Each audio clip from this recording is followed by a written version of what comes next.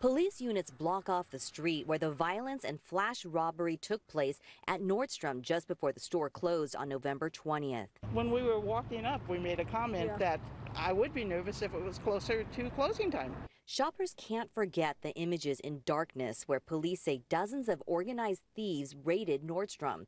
Three suspects, Dana Dawson, Joshua Underwood, and Rodney Robinson, face charges including robbery and using force and fear against Nordstrom employees. In court, the prosecutor said Robinson had $2,000 of stolen Nordstrom merchandise. I spoke with Robinson's godfather today, and he told me he had hoped Robinson would be released today, but that didn't happen. The judge denied the request by the defense attorney.